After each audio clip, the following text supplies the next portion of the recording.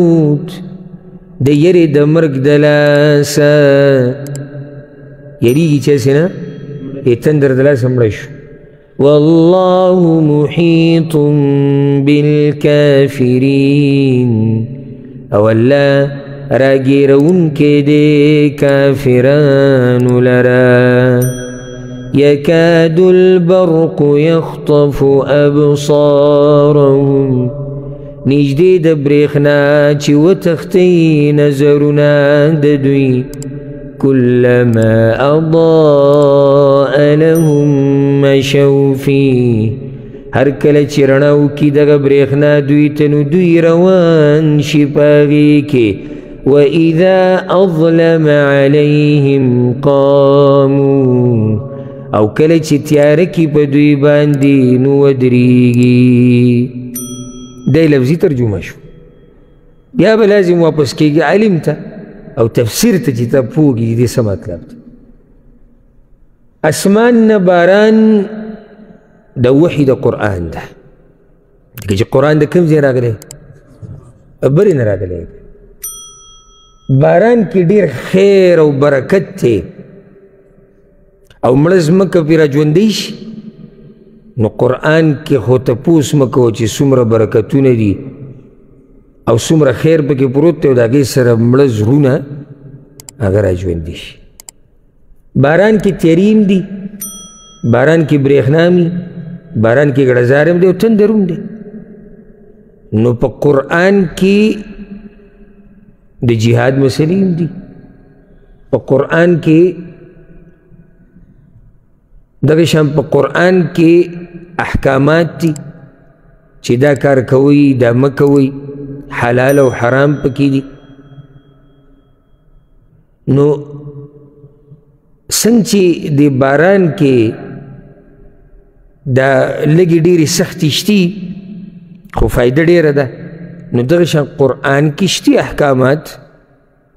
چې هغه انسان پابند کوي او دنیا خو د مؤمن دپاره دی جیل دنیا زموږ دپاره څه دی جیل دی ځکه چې موږ پابند یو د الله د شریعت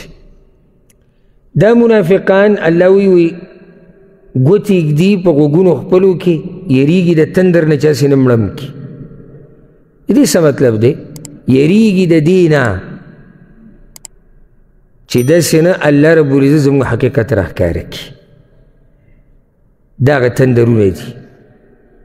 ځکه هلته خو دوی ته پته ده چې موږ منافقان یو که بل چا ته پته ده او که نه خو دې منافق ته خو په خپله پته چې زه منافق یم که نو دی یریږي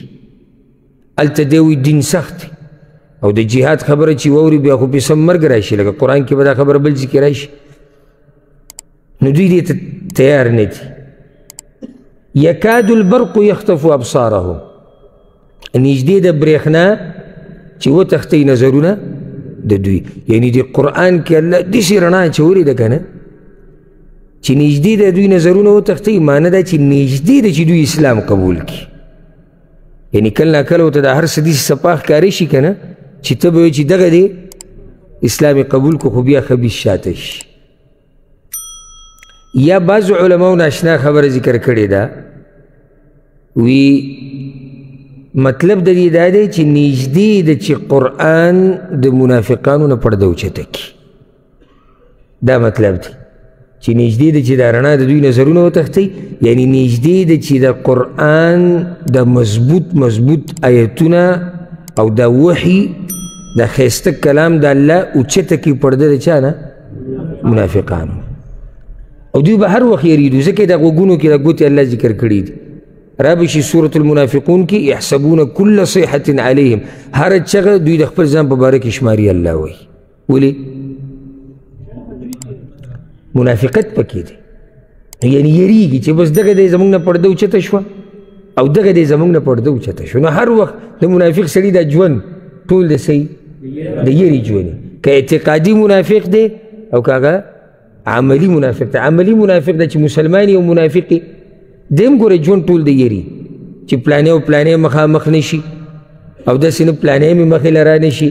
او د سینه پلانې دي سیونه وي پلانې هغه ته ټلیفون ونه کی ځکه چې د دومره جاخې لړلې یو دومره منافقت کړي دي چې دې نه غواړي چې دا خلک یو بل سره مخامخ شي یو بل سره خبرې اترې وکړي هلته دکې مرض دی الله وی کلما اضاء لهم مشو فيه کله چې دوی ته رڼا شي روان شي پکې او چې تیارې شي ودرېږي رڼا نه مراد دلته دا دی چې کله دوی ته په اسلام کې نږدې فایدې میلاویږي نږدې نو بیا پکې روان شي لکه مال غنیمت دی اوس ګوره کله چې رسول الله وسلم حدیبیې ته تو منافقان ورسره تلي نه دي تلي ولې ځکه چې ځای لري و قریشو سره خبره ده دوی نه دي تلي او چې کله خیبر ته تو بیا سره دوی تلو او پرې خو دی نه دي سیرت چې تاسو اورېدې نو به تاسو ټول صحیح جواب راکولې بیا دوی تلو ولې ځکه چې فایده نږدې وه او دوی به نه ورک به خو چې کله به اواز وشي چې مال لغلی دی نو بیا به ټولو د رسول صلی الله علیه وسلم په مجلس کې ډډې وهلې چا به ذکر او چا به تلاوت او چا به د جهاد مسلې او دا به بیانول ولې ځکه چې رڼا به ورته ښکاره شو رڼا خو دین کې ټوله رڼا ده خو وقتي تور نږدې چې کومه فایده به ورته ښکاره شوه نو بیا به دوی په دې رڼا کې روان شو او چې تیاره به شوه بیا به ودرېدو لکه قرآن په بل ځای کې الله دا خبره ذکر کړې ده ومن الناس من یعبد الله علی حرف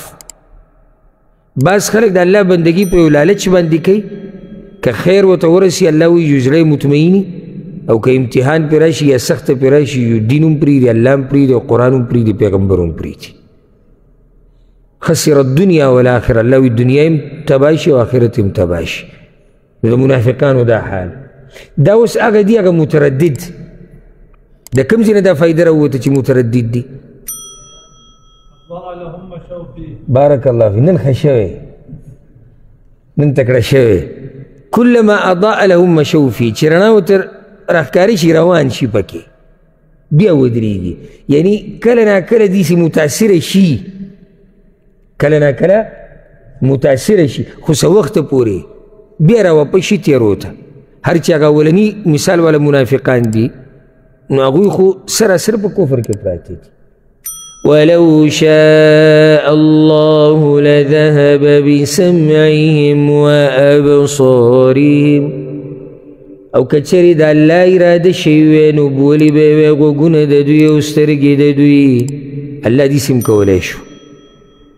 چې بلکل د دوی نه دا سترګې او دا غوږونه دی چې بلکل اخیستی وي خو الله داسې نه کوي ولې ځکه چې الله حجت قایموي په دې مخلوق باندې غوږونه یې ولم ورکړي دي سترګې یې هم ورکړي دي ولې نو زه خو هم دا چې حجت څنګه قایموي چې هر څه اینی او اوري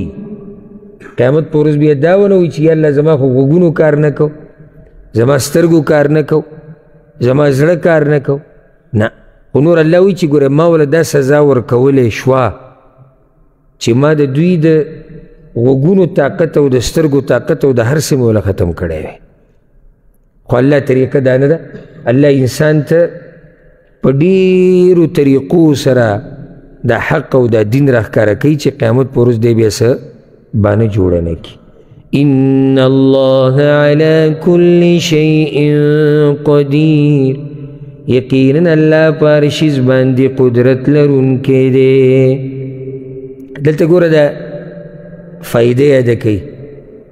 چې هر وخت د الله نه دا سوال کوئ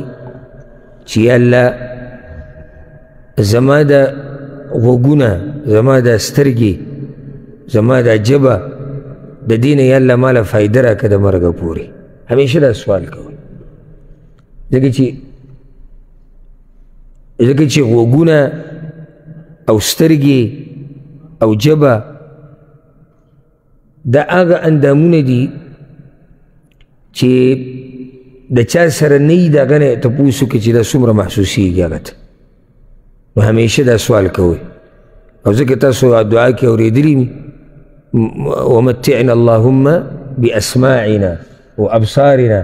یا الله موږ له فایده راکړه زمونږ د غوږونو نه زمونږ د سترګو نه نو الله رب العزت چې زمونږ د غوږونه زمونږ سترګې زمونږ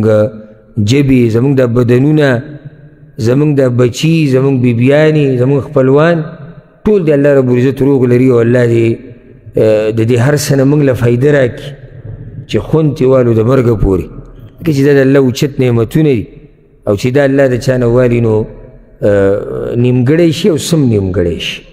نو په دې به اکتفا وکړو دوه مثالونه بیان شو یو د اور بل د اوبو د اور مثال د چا دپاره خالص منافقان دي کافران ټکی مه وایي منافقان او دویم مثال د اوبو متردد منافق دپاره